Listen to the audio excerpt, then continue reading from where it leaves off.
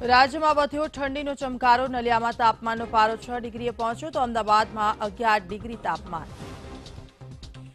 કચ્છના ચિરાઈ નજીક બે ટ્રેલર વચ્ચે એક્સયુવી કાર આવી જતા એક જ પરિવારના દસ લોકોના મોત, ટ્રકનું ટાયર ફાટતા સર્જાયો અકસ્માત. અમદાવાદના હાટકેશ્વર ઓવરબ્રિજ પર પતંગની દોરીથી યુવકનું મોત, ગળાના ભાગે દોરી વાગતા યુવક મોતને ભેટ્યો. દેશ સહિત દુનિયામાં આજે મોડી રાત્રે નવા વર્ષના થશે વધામણા. તો અમદાવાદમાં ઉજવણીને લઈને પોલીસ અલર્ટ. રાજ્યસભામાં આજે રજૂ થશે ત્રિપલ તલાક બિલ. ભાજપ કોંગ્રેસે સાંસદો માટે જારી કર્યું વ્હીપ ભારતના પાડોશી બાંગ્લાદેશમાં હિંસાત્મક માહોલમાં મતગણતરી સંપન્ન. સતત ચોથી વાર શેખ હસીનાની જીત.